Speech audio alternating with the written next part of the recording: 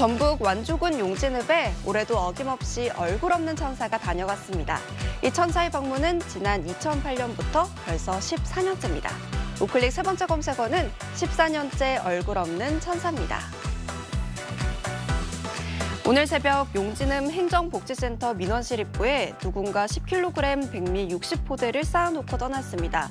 신원을 밝히지 않은 독지가는 쌀과 함께 손편지도 남겼습니다.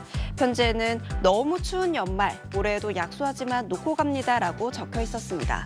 용진읍 얼굴 없는 천사의 선행은 올해로 14년째 이어지고 있는데 그동안 기부한 쌀이 모두 420포대, 8,400kg에 달합니다.